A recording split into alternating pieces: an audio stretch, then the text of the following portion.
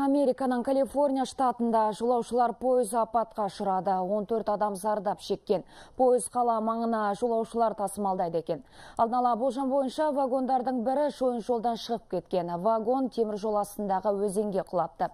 Қазір оқиға орнында құтқарушылар зардап шеккендерге алғашқы көмектерін көрсетіп жатыр.